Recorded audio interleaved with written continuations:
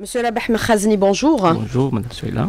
Alors, le dialogue social, un instrument de dialogue constitutionnalisé aujourd'hui au vu de la situation sociale. Comment peut-on évaluer ce dialogue social? Est-ce qu'on peut considérer qu'il est suffisamment efficace ou qu'il a montré ses limites? Monsieur Khazni bah, euh, Pour le dialogue social, euh, le ministère du Travail favorise le dialogue social conformément aux orientations de son Excellence Monsieur le Président de la République.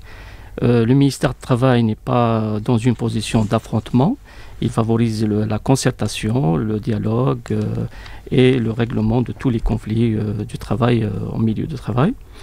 Il, il respecte les partenaires sociaux, donc il est à l'écoute des organisations syndicales, des travailleurs et des employeurs. Et Monsieur le ministre du Travail, M. Mourad Zemali, a appelé euh, souvent donc euh, les organisations syndicales à contribuer dans ce dialogue social qui est institutionnalisé bien sûr. Vous avez constaté qu'il y a 21 euh, tripartites et 14 bipartites qui ont donc consacré la, concertation entre les partenaires sociaux sur des sujets économiques et sociaux par rapport au monde du travail.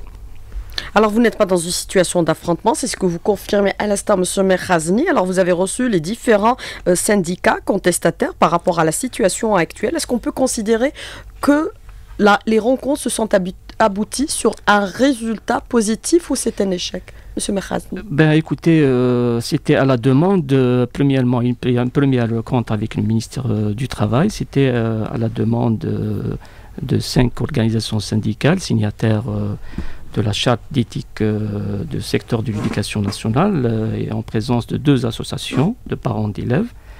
Euh, la réunion a eu lieu au niveau du ministère du Travail. nous avons écouté donc, les préoccupations des organisations syndicales et de deux associations, pas surtout des parents d'élèves, par rapport. donc, ils ont contesté, bien sûr, le mouvement de grève déclenché par une organisation autonome KNAPEST au niveau de certaines wilayas notamment à la wilaya de Bijaya et de Blida. Et euh, donc nous avons relevé leurs préoccupations par rapport au sort euh, des élèves euh, et par rapport à la situation qui a paralysé un nombre important dans, ces deux wilayas, un nombre important des, établissements scolaires. Et donc ils ont demandé l'intervention du ministère du Travail. Et le lendemain, il y a eu une rencontre également avec euh, cette organisation syndicale euh, autonome KNAPEST, avec le, ministère, euh, avec le ministre du Travail. donc, de par donc, nos missions, qui est d'éclairer tous les partenaires sociaux de la législation du travail et des procédures en matière de règlement des conflits collectifs, et partant de nos missions également en tant que garant de la liberté syndicale et du droit d'exercice de grève nous avons écouté l'organisation syndicale qui nous a fait, donc nous a présenté leurs euh, revendications, l'historique du mouvement de grève qui a débuté au mois de novembre. Euh, donc des résultats de négociations avec euh, le secteur de l'éducation, l'administration de l'éducation. mais Monsieur le ministre a insisté sur le respect donc, de la loi et notamment le respect des procédures euh, donc de recours à la grève, les procédures légales prévues par la, par la loi et de respect également des décisions de justice qui ont été rendues.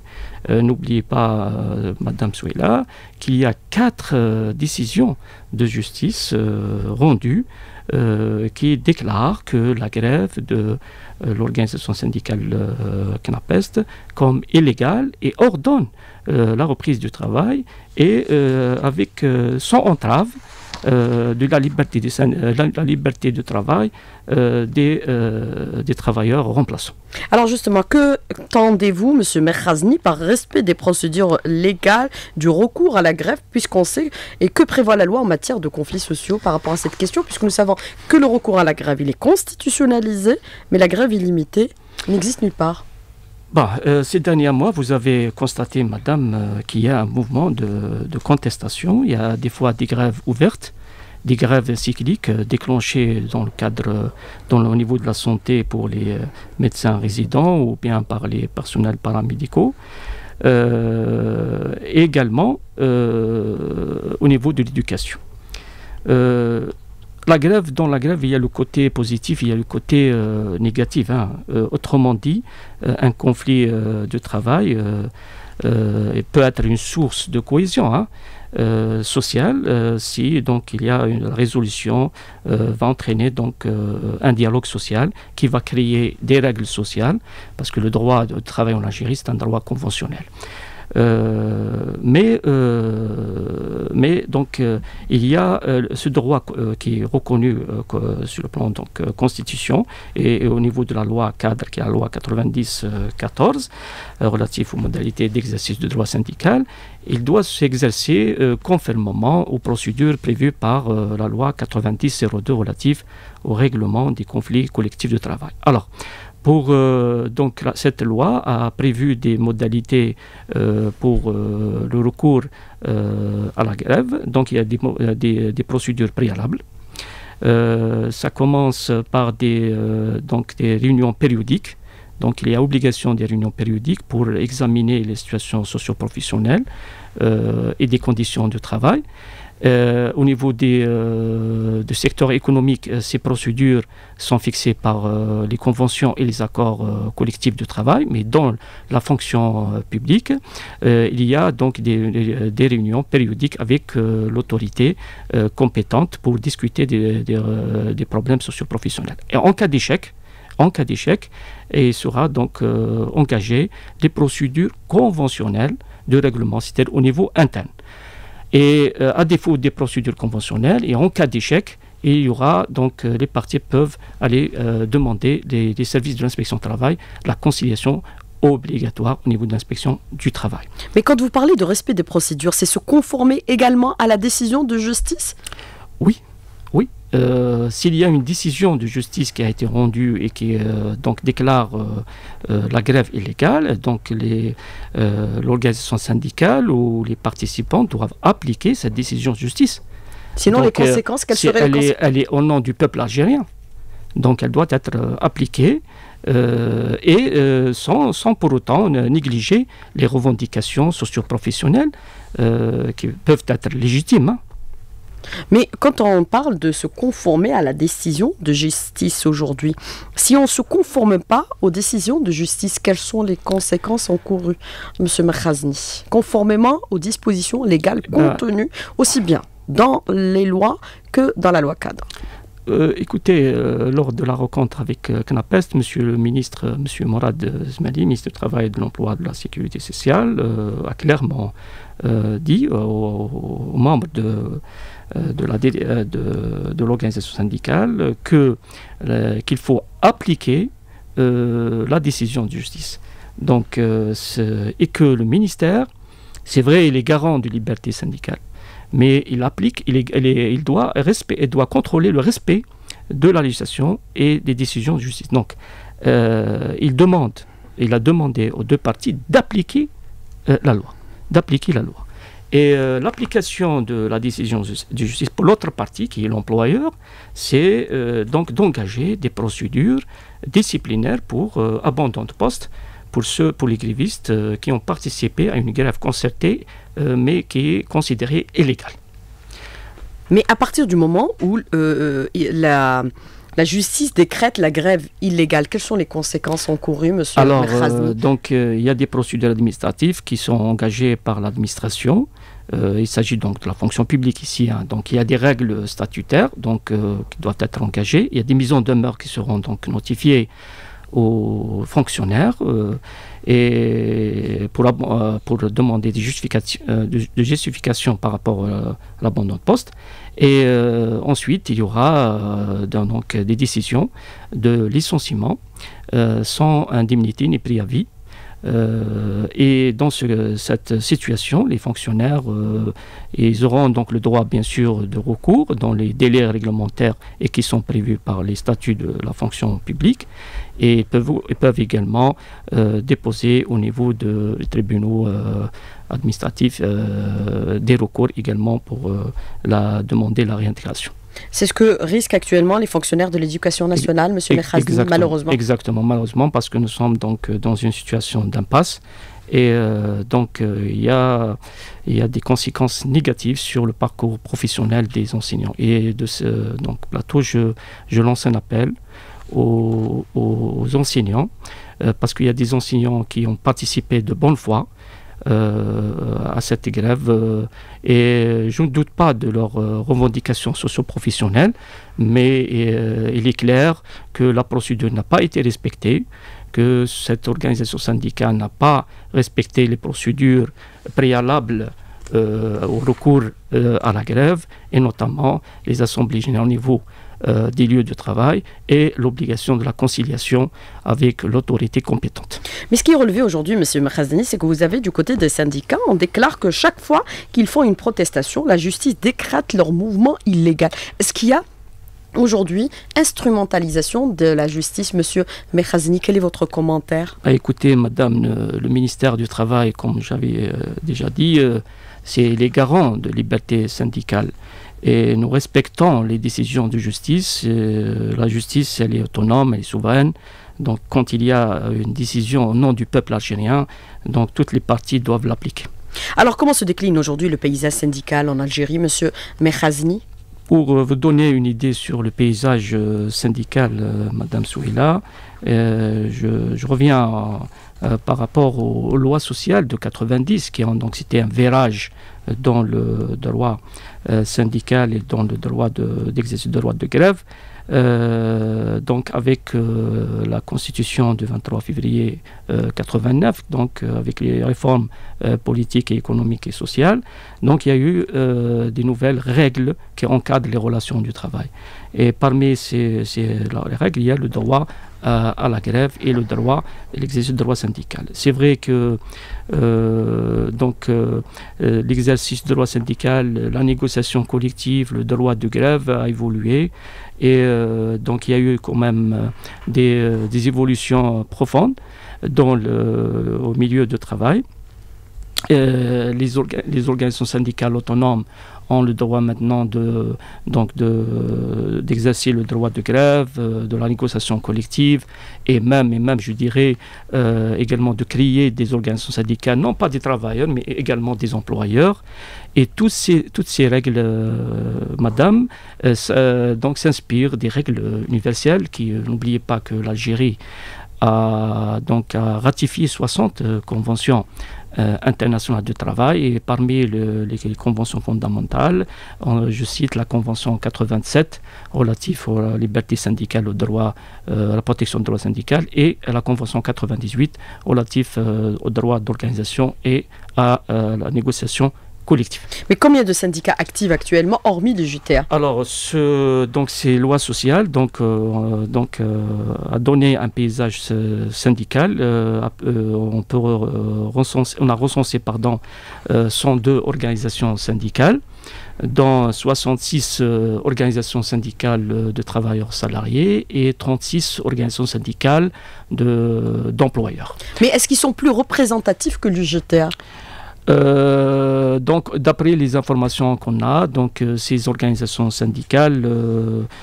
des, 66 organisations syndicales de travailleurs, il y a une, il y a 35 organisations syndicales qui se concentrent uniquement au niveau de la fonction publique, ce qui donne un taux à peu près de 53%, principalement au niveau du secteur de, de l'éducation et du secteur de la santé on peut trouver, euh, on, trouve euh, au niveau du secteur d'éducation 13 euh, organisations syndicales si on, tient compte de l'UGTA et de SNAPAP. Et, et au niveau du, secteur de la santé, il y a 15 organisations syndicales qui activent dans ce secteur. Alors, monsieur Alabahme Khazni, moi je voudrais revenir un peu sur ce que vous avez déclaré dans la première partie de l'invité de la rédaction. Vous parlez de 102 organisations syndicales dans l'UGTA, 53% dans la fonction publique. Est-ce qu'on peut considérer, comparativement à l'UGTA, par le passé, les syndicats autonomes sont en train de prendre des parts plus importantes? Bon, selon le paysage syndical, les organisations syndicales autonomes, comme j'avais dit, sont concentrées dans la fonction publique mais euh, leur représentativité, c'est par rapport euh, à certaines catégories euh, relevant du secteur concerné. Donc, s'il s'agit du secteur de l'éducation ou bien dans le secteur de, de, la santé. Il y a donc des catégories de socioprofessionnels donc, qui sont couverts par le statut de ces organisations autonomes. Mais quelle est leur représentativité si on devait les comparer avec l'UGTA bah, écoutez, qui annonce déjà avoir l'équivalent de 2 millions d'adhérents? Oui, écoutez... C'est le cas? Oui, non, non, c'est pas le cas. C'est pas le cas. Euh, parce que si vous, euh, donc, euh, vous considérez la représentativité au niveau national, ces organisations autonomes n'ont pas encore cette représentativité au niveau national parce que le, leur statut couvre une seule catégorie et parfois des organisations syndicales couvrent un seul secteur.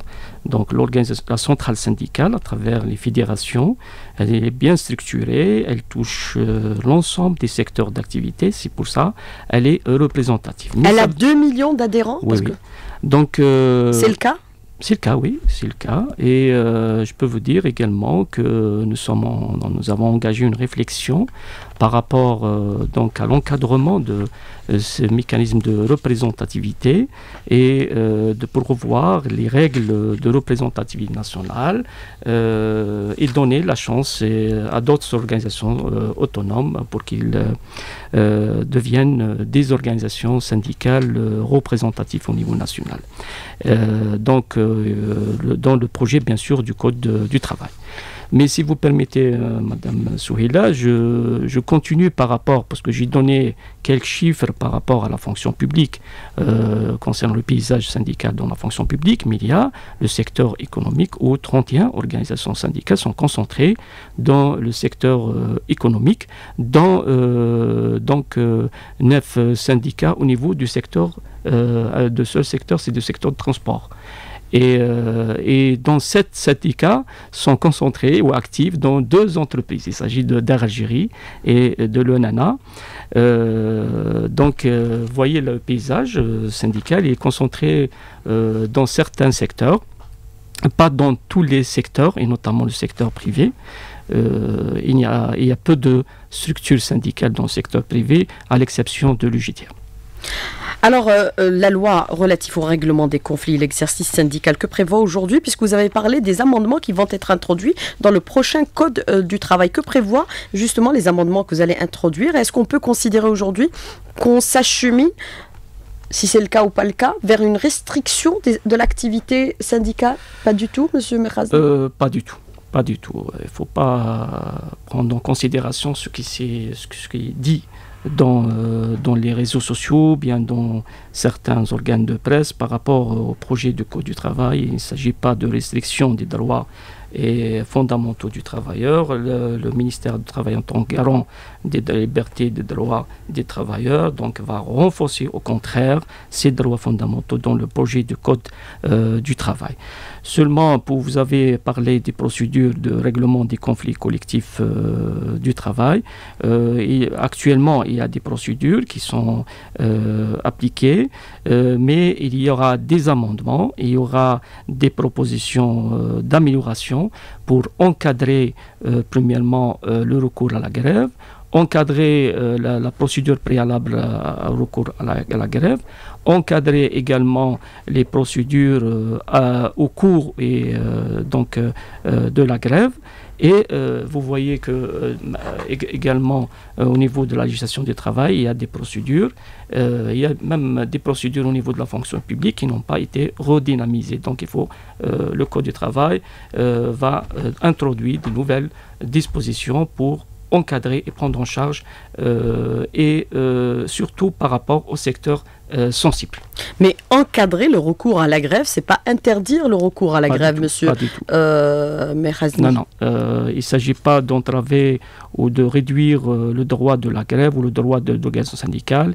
Il s'agit de préserver dans certains secteurs sensibles qui touchent donc aux citoyens et à l'économie nationale.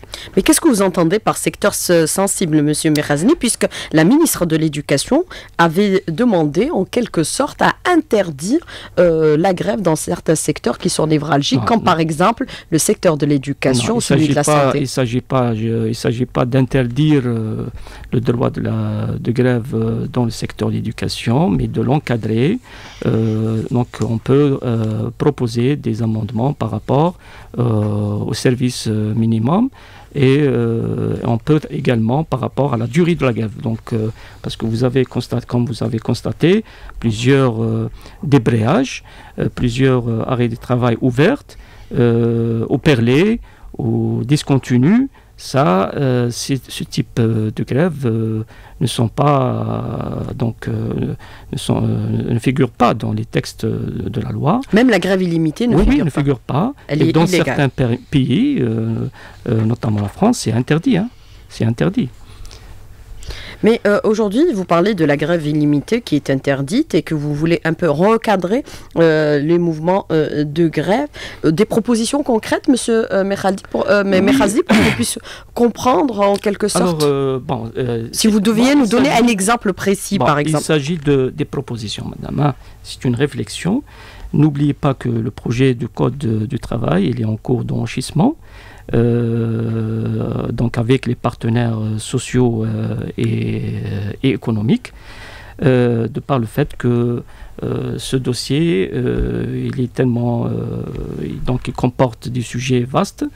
Et donc le ministère du Travail, par rapport à son rôle, donc d'arriver euh, donc à l'équilibre euh, entre euh, les droits fondamentaux, le droit de la protection effective des travailleurs, en même temps les droits des employeurs en matière de compétitivité et de productivité. Donc c'est un droit qui va donner beaucoup d'énergie euh, Inch'Allah, euh, aux partenaires sociaux, mais il va protéger les, droits des travailleurs euh, au milieu de travail. Alors, Monsieur Mekhazni, beaucoup de questions des auditeurs qui sont intéressantes. Alors aujourd'hui, si on est arrivé à cette situation de blocage dans certains secteurs et à des grèves illimitées, est-ce qu'on peut considérer que certains instruments de médiation n'ont pas été suffisamment efficaces ou de conciliation, comme par exemple l'inspection du travail?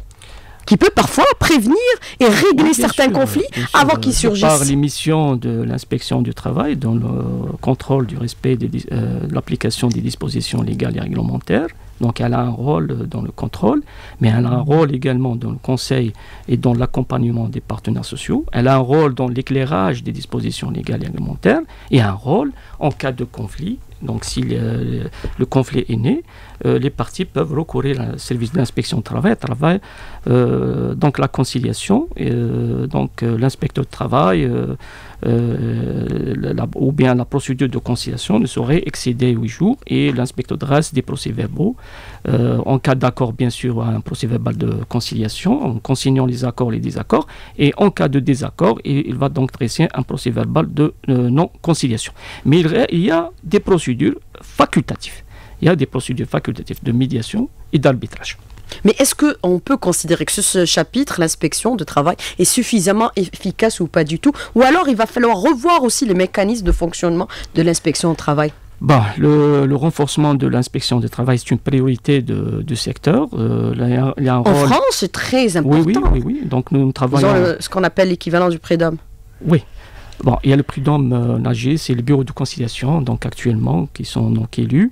C'est des représentants mais qui a une force de justice, euh, contrairement à chez nous. Euh, mais contraire en Algérie, mais on, on, est en train de réfléchir comment redynamiser ces bureaux de conciliation et redynamiser également, même au niveau de la de, justice, donc tribunaux sociaux. Alors, autre question, Monsieur Mekhazni. lorsque la justice déclare une grève non réglementaire, est-ce que c'est par rapport à la forme ou aux revendications? Euh, écoutez, euh, des, fois, des, fois, des fois, les, euh, les revendications socio-professionnelles sont légitimes, hein. mais la procédure n'est pas conforme.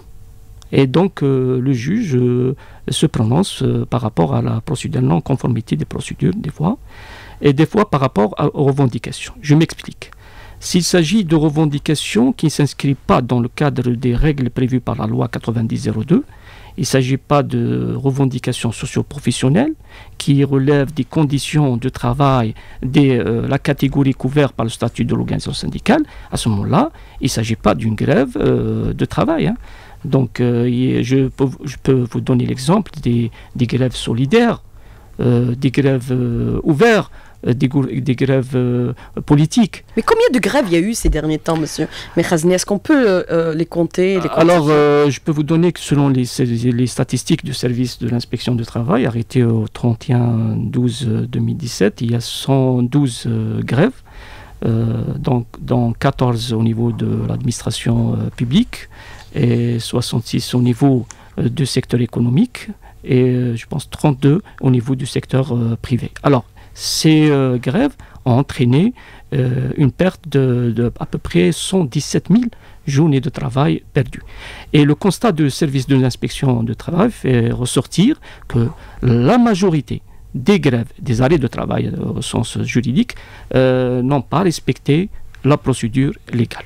Mais quand vous parlez de 117 000 journées de travail de moins par rapport à tous ces mouvements de revendication, est-ce qu'on peut considérer que ça a aussi un coût économique? Oui, oui. Euh, donc, euh, euh, les arrêts de travail entraînent donc un coût. Et ce coût, quand ce coût humain, il y a, des fois, a un coût humain et économique qui dépasse les résultats positifs du conflit lui-même.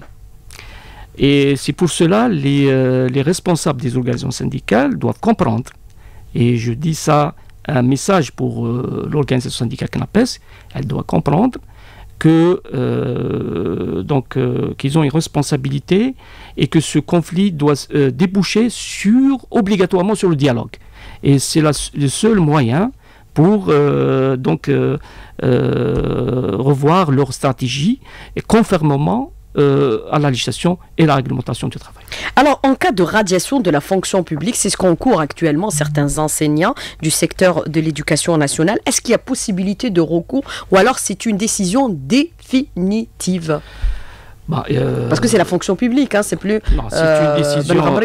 c'est une décision qui a été qui sera prise par l'administration. Des travailleurs ont le droit de faire le recours conformément aux règles statutaires et euh, donc d'ester au niveau de justice pour demander la réintégration.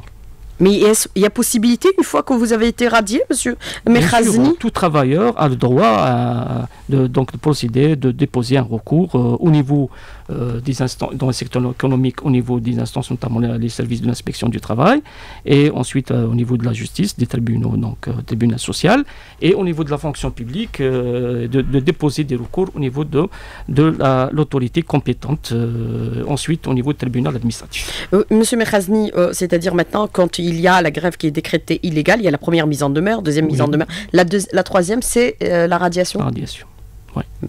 Alors, euh, autre question d'un auditeur, Monsieur euh, euh, Mechazni.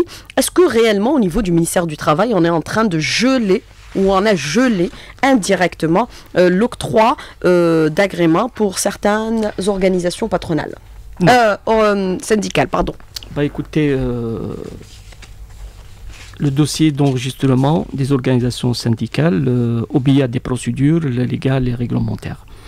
Euh, donc euh, le, syndicat se constitue à, travers donc une assemblée constitutive des membres fondateurs. Il dépose une, demande, une déclaration de constitution euh, accompagnée d'un dossier, c'est-à-dire le statut de, l'organisation syndicale, la liste des membres fondateurs, le PV de l'Assemblée générale. Donc ce dossier doit se conformer à la législation du travail. Et euh, il y a une, un examen de conformité par l'administration euh, et le récipicé d'enregistrement est donné euh, donc un mois après le, donc le traitement du, du dossier. Mais actuellement, vous ne donnez pas d'agrément. Vous délivrez pas Non, on, on, donne des agréments, mais si l'étude de conformité donc fait ressortir qu'il n'y a pas de respect donc des règles, des dispositions légales réglementaires, notamment le principe de non-discrimination dans les clauses de statut, le principe de démocratique de désignation des membres de, d'élection, et, pas donc des, des, des, donc sont adressés aux organisations syndicales pour demander de lever ces réserves et de se conformer à la loi. Mais est-ce qu'on peut considérer qu'après après avoir parlé de tous ces aspects, le droit des travailleurs et des ouvriers est préservé de par la loi et de par les actions que vous êtes en train d'engager, Monsieur euh, euh, Oui, bien sûr. Bien sûr. Donc, euh, il s'agit là d'appliquer euh, la législation. il s'agit de protéger. Bah, le, ministère du Travail a un rôle de protection des délégués syndicaux. Hein. Donc, il ne faut pas oublier qu'il y a tout un dispositif en cas d'atteinte euh, aux libertés syndicales. Au sein de l'entreprise Au sein de l'entreprise, le syndicaliste peut demander l'intervention des services d'inspection du travail. L'inspecteur du travail peut ordonner l'organisme employeur de réintégrer le syndicaliste si euh, il s'agit d'un licenciement abusif et s'il s'agit d'une sanction euh, qui a un lien avec l'exercice de droit syndical. Alors pourquoi autant de syndicats dans le secteur de l'éducation nationale? Ils sont pratiquement, l'auditeur parle de 13, mais je pense qu'ils sont 11 eh ben, c'est un indicateur de liberté syndicale en Algérie, madame. Donc, euh, beaucoup disent qu'il y a des donc, euh, euh, restrictions par rapport au droit syndical dans certains organes de presse ou dans des, au niveau des instances internationales. Mais là, c'est le, paysage qui vous donne donc, des indicateurs clairs qu'il y a 102 organisations syndicales de travailleurs des employeurs. C'est un indicateur important. Est-ce que toutes les organisations syndicales sont conformes à la loi aujourd'hui C'est-à-dire qu'ils ont, fait, qu'ils ont tenu un peu leur assemblée générale pour leur élection et euh, pour avoir le mandat Alors, Puisque certains disent que euh, par rapport au CNES, le CNES c'est le, le, Conseil national de l'enseignement supérieur, ils sont en euh, contradiction avec la loi. Avant de répondre sur le, problème des conflits internes des organisations syndicales. Rapidement, Monsieur Mechaz. Rapidement, bon, les organisations syndicales doivent avoir les éléments de représentativité qui est de 20% de total de l'effectif couvert par le statut. et en cas de, d'ailleurs, ils, sont obligés de communiquer à l'autorité compétente les éléments de leur représentativité, mais il est vrai qu'il y a des conflits internes au niveau de certaines organisations syndicales et qui donc euh, n'est pas dans l'intérêt de syndicats. Combien ils le sont actuellement? Euh, il y a beaucoup de, conflits au niveau des organisations patronales, mais il y a deux ou trois au niveau des conflits individuels au niveau des organisations de travailleurs, notamment le, le CNES. Alors très rapidement, sur cette question, beaucoup d'entreprises refusent d'abriter des syndicats. Est-ce que c'est normal, notamment dans le privé? Et, bah, écoutez, le droit syndical, euh, c'est l'affaire de. Bon, il y a le, la protection légale hein, des syndicalistes qui est prévue par la loi, mais le, c'est le rôle des syndicats dans la mobilisation, dans l'affiliation des travailleurs donc, euh, par rapport à leur statut. Et euh, ce que nous constatons, que dans le secteur privé, pratiquement, il n'y a, a, pas de structure syndicale, à l'exception du JTA. Alors, très rapidement, sur cette question, la dernière. Alors, il y a une mission du BIT qui sera là la semaine prochaine, c'est pour évaluer l'activité syndicale très rapidement, Monsieur Merhazni euh, Vous permettez, si vous permettez, donc je vais éclairer l'opinion publique par rapport. Mais très rapidement. Rapidement, bon, dans l'organisation syndicale qui a une euh, donc composante tripartite, il y a des organes de contrôle. Euh, ça rentre dans l'activité normale de l'Organisation internationale de travail, puisqu'il y a des, pays qui ont ratifié des conventions. Donc il y a une évaluation euh, de euh, l'état d'application de ces conventions euh, au niveau de des pays qui ont ratifié ces conventions internationales du travail. Donc c'est une mission ordinaire Ordinaire.